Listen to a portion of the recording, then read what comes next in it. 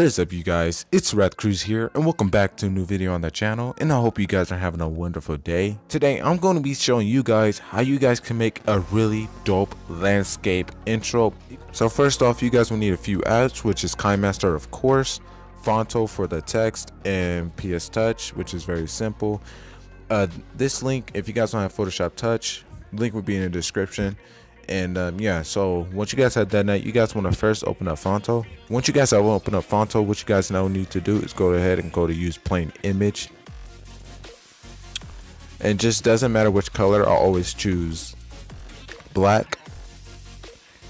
Now once you guys have done that you guys will need to go on ahead and add in your name which I'm gonna type in Wrath for this. And you guys I'm gonna change to the font. It's up to you guys. I'm gonna change the font though so once you guys are done with your text, now what you guys will need to do is simply go on ahead and go into style and choose the color white.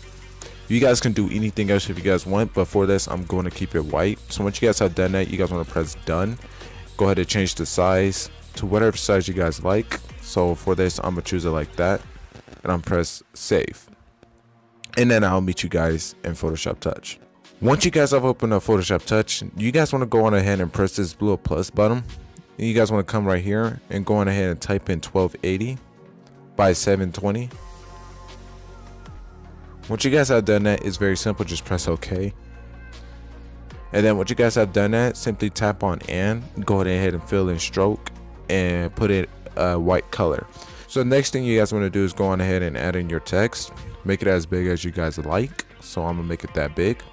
So once you guys have done that you guys will now need to do is simply go on ahead and tap on the magic wand tap on the background and press cut. Whoops.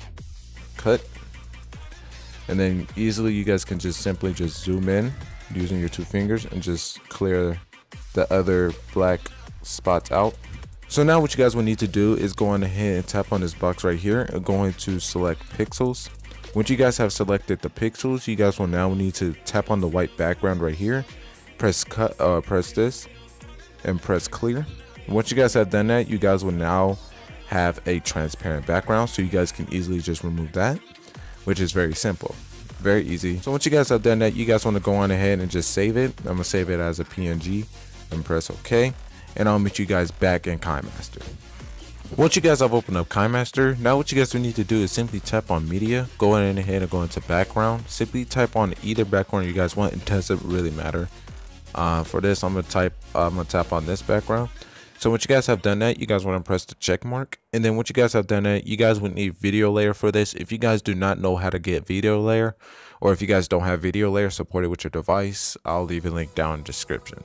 So once you guys have gotten your animation of your landscape, um, I'll leave this link down in the description so you guys can also download it if you guys like. But you guys want to cut this, if you guys use this one, you guys want to cut it halfway like that. So once you guys have done that, you guys will now need to go on ahead and make it a little bit more forward like that. Then go on ahead and go into layer and grab a black background. Once you guys have grabbed the uh, black background, you guys will now need to do is simply place it in the middle, which I'm gonna do right here. And then once you guys have done that, simply just duplicate it and place it also in the middle. Just put pull it down a little bit. Okay. All right. So once you guys have done that, you guys want to push this back a little bit more. And then now what you guys will need to do is actually I'm going to move it back a little bit more. Kind of like that. There we go. So now what you guys will need to do, ooh, yeah, that, that that's really far away. So I'm just going to connect it. So what you guys will need to do now is simply tap on it and go on ahead, go into keyframe. And it's easy to know which one it is. So this one is the top one right here. So what you want to do is, is just simply just kind of scroll up a little bit and just move this up and make sure you guys kind of cover like put a little black spot just so you guys won't have to do it later that's what I, I'm starting to do now. So you guys just want to do the same thing for the bottom one. Just pull it down. Right there. And then now you guys want to make sure it fits the whole screen. Or you guys want to make sure like this. And once you guys have done that, you guys now would need to do is just simply go like that. It will look like something like this. Something opening up. I'm sorry if the lag is kind of booty right now because it really is. So what you guys will need to do is simply just trim this right here and duplicate this one right here. Doesn't matter on how you do it, just duplicate it. And you guys can duplicate it one, uh, I think that'll be enough. Yeah, that'll be enough. So what you guys want to do is simply tap on this and bring it to front. That's what you guys, okay. So you guys want to tap on the bottom one and bring to front too. So now you guys will have it where it does the animation like that. So now what you guys will need to do is simply add in your music, which I'm gonna do right quick. So now what you guys will need to do after you guys added your music, simply tap on where the bass drops and simply go into keyframes. And as you guys can see, you guys just want to move a little bit ahead right there and just shrink it just a little bit. You guys have done that, you guys can simply go on ahead and just add in your image, which I'm gonna do right quick. What we need to do is simply just increase it kind of big, exactly kind of like that. So now once you guys have done that, you guys will now need to go on ahead, just kind of center it like this. Go in and go into keyframes and just basically just make it drop. So I'm gonna do that right quick. Just make it smaller, just like that. Make sure it fits the screen too. There we go. So now what you guys have done that, you guys are, can easily just press the check mark and just simply go on ahead. So once you guys have done that, you guys want to go back into keyframe and just simply go on ahead and just simply make it smaller. Just a tab. I think that's fine. So once you guys have done that, I think you guys are pretty much almost done here. Done that, you guys want to go on ahead and go into the solid colors again and simply just go on ahead and bring to front, go to the other one, do the same thing, bring to front. And then now you guys will get something like that. What you guys now would need to do is just simply, that's pretty much almost it. So now what you guys would need to do is simply add in a random color background, which is right here. And then you guys want to go on ahead and just put it, scroll it, put it all the way down right here. And then what you guys want to do is go on ahead and shorten this as well. So there you guys go. So now what you guys have done that, you guys want to you guys want to go on ahead and just duplicate this layer and add a secondary color. The secondary color is just going to be any color you guys want to go with the intro. So for this one, I want this one to stay white. And for this one, I want this one to be a red background. Simply tap on it, go into keyframes, simply just drag it up, upward, just like that. And make sure it fits the screen as well. You don't you, you don't want it to look ugly. So once you guys have done that just simply do the same thing to the white one. So now you guys will get something like this. And then now what you guys have done that you guys want to go on ahead and go back into this layer again. Bring to front for the last time. Bring to front.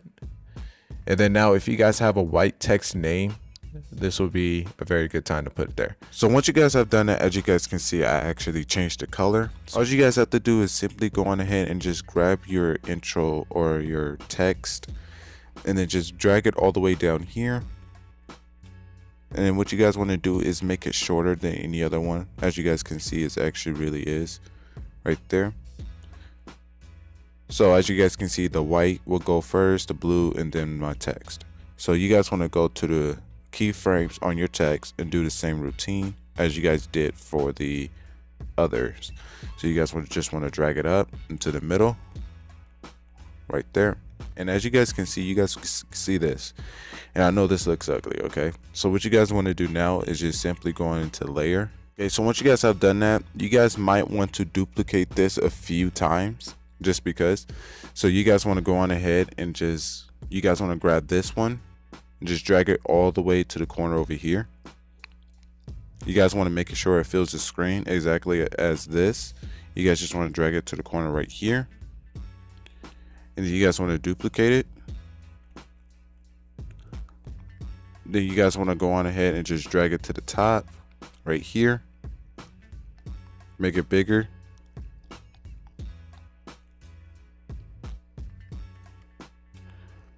And then once you guys have done that, you guys want to go on ahead, press the check mark one.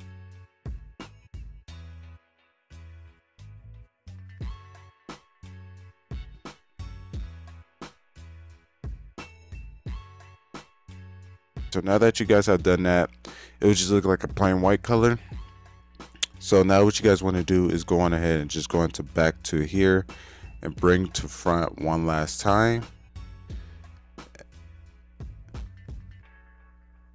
And then there you guys go. So once you guys have done that, you guys just want to go on ahead and grab another one last, you know, uh, image right here. You guys just want to drag it to the end, probably like right here, actually. And then what you guys want to do now is just simply go on ahead and go into keyframes and just drag it across the screen. Exactly like that. Press the check mark.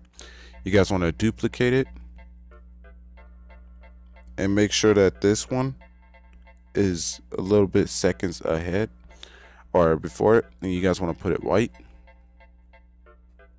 And then now what you guys have done that actually what you guys want to do is basically swap colors. So I'm gonna swap this one white right here. And then I'm gonna put this one a black color. Whoops there we go. And then now what you guys have done that it's actually a little bit too soon so I'm gonna go on ahead and just make it look like that. There we go. So now you guys got that at there before. And once you guys have done that, you guys want to go into your sound. And uh, where's that little sound? I know it's an S or whatever.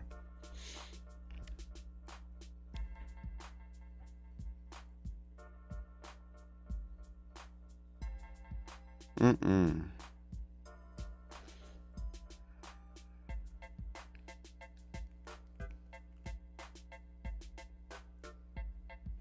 So as you guys can see, you guys get something like this. And um, for this one, I'm actually just gonna go on ahead and just add it right here and turn it full volume so that the outro will have like an effect to it, you know.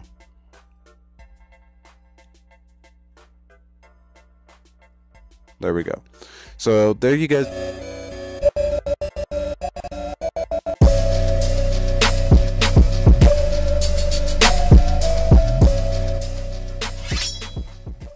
let's go. That's something very nice. And um, yeah that's pretty much it for this video you guys. And i hope you guys did enjoy.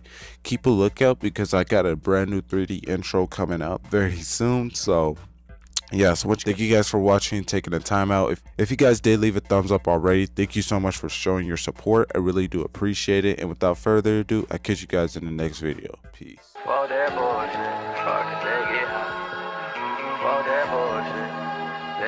Talk to account. Bitch, I don't have a cent. I'm too fly. I'm too fly. Keep that cash on me. Yeah. You know why. You know why. They ain't playing fair. So I keep that fire. Keep that fire. For that bullshit.